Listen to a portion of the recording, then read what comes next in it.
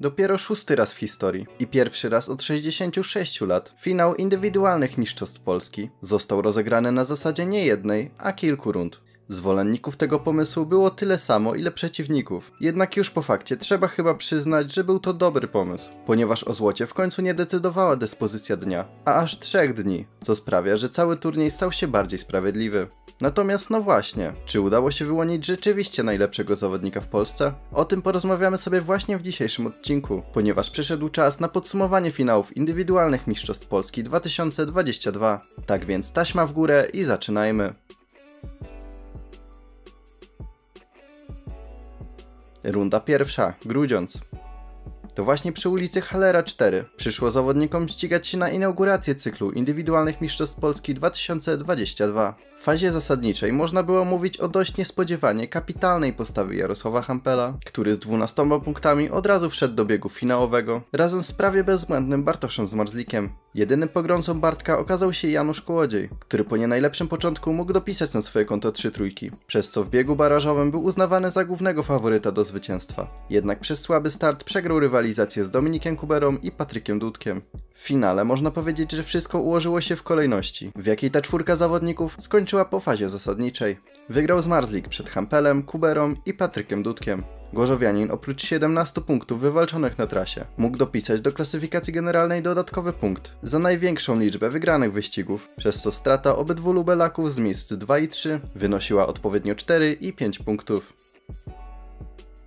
Runda druga, Krosno. Ten turniej zapamiętamy na pewno z fantastycznego biegu barażowego, ale zacznijmy od początku.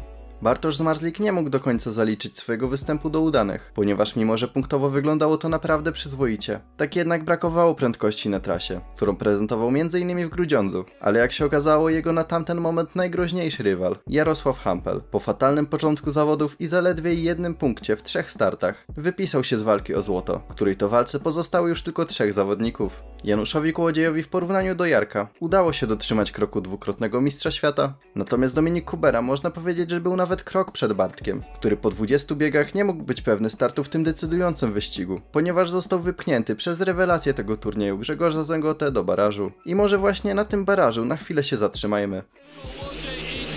Dobrze Smarslik, dobrze też e, Woryna. Oni na dwóch pierwszych miejscach, ale nadciąga Janusz Kołodziej, nadciąga Maciej Janowski, ależ to będzie kocioł w tym drugim łuku po szerokiej Kołodziej.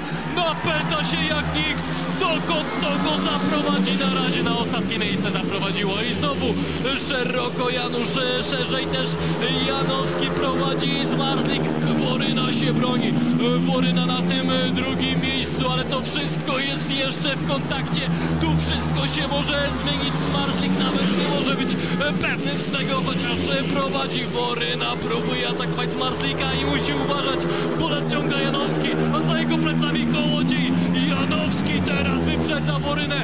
Do wewnętrznej Woryna. Czy odbije swoją pozycję? Nie odbije. I musi uważać, bo kołodziej mijał i to właśnie wykonał. Janusz został z tyłu Woryna, już nie kontynuuje jazdy, a z przodu Janowski i za chwilę kto wie, czy nie kołodziej. Ostatni łuk, co tutaj się dzieje w Krośnie? Fantastyczny bieg, z którego górą wyszedł Maciej Janowski, a także no jednak obłysk szprychy Bartosz Zmarzlik. W finale wydawało się, że sytuacja z rundy numer 1 się powtórzy i kapitan Stali Gorzów wróci na zwycięską ścieżkę. Jednak jadący na ostatnim miejscu zwycięzca biegu barażowego zaliczył groźnie wyglądający upadek, a w powtórce już trzyosobowej obsadzie. Dominik Kubera wygrał start i pomknął do mety na pierwszej pozycji, tym samym zrównując się punktami w klasyfikacji generalnej z obrońcą tytułu, co oznaczało, że ostatnia runda decydująca o mistrzostwie stała się jeszcze bardziej emocjonująca. Runda trzecia, Rzeszów. Po pierwszej serii naprawdę wydawało się, że do końca żaden z zawodników nie mógł być pewny zwycięzca w cyklu. Jednak już w drugiej, kiedy to dwóch pretendentów do złota spotkało się ze sobą w wyścigu, stało się jasne, że Dominikowi Kuberze bardzo ciężko będzie odrobić stratę do strasznie szybkiego Bartosza Zmarzlika, który po czterech biegach miał już 4 punkty przewagi nad zawodnikiem motoru Lublin. Wszystko oficjalnie wyjaśniło się w ostatniej serii, kiedy to po dwóch punktach Dominika w wyścigu 18 Bartek wypełnił formalności już bieg później, zdobywając trójkę i przepieczętowując tytuł indywidualnego mistrza Polski. Jak się okazało w ostatnim starcie zawodnik Stali Gorzów potwierdził, że był tego wieczoru najszybszy i wygrał ostatni z finałów cyklu przed Jakubem Miśkowiakiem, który po fatalnie wyglądającym upadku w swoim pierwszym starcie z biegu na bieg był coraz szybszy i jako jedyny pokonał zwycięzcę tego turnieju w jednym z biegów. Całe podium uzupełnił srebrny medalista mistrzostw. Natomiast jeśli chodzi o klasyfikację generalną, z brązem ostatecznie skończył Janusz Kołodziej, dla którego był to już dziewiąty medal w karierze.